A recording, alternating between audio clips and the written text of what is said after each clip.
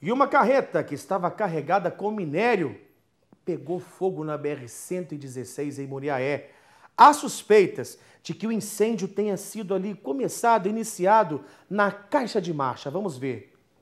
Segundo o Corpo de Bombeiros, o fogo ficou concentrado na cabine da carreta. Essa parte do veículo ficou tomada pelas chamas. O motorista relatou que seguia sentido Muriaé Miradouro quando escutou um ruído alto vindo da caixa de marcha.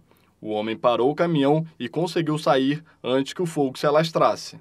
Coloca para mim aqui na tela da LCD como é que ficou esse caminhão. Olha essas imagens impressionantes, o Corpo de Bombeiros Militar saindo aí para fazer esse socorro. O caminhão, a carreta ficou completamente, olha só como é que danifica. Acabou com a cabine, acabou com tudo. Os bombeiros chegaram rápido, mas o fogo foi rapidamente espalhado ali e infelizmente há essa suspeita de que houve uma pane ali na caixa de marcha, no câmbio. Tem gente que fala caixa de marcha, tem gente que fala caixa de câmbio, mas é ali na troca de marchas. Ele sentiu ali um barulho ali, começa esse fogo, mas apesar do susto, ninguém ficou ferido.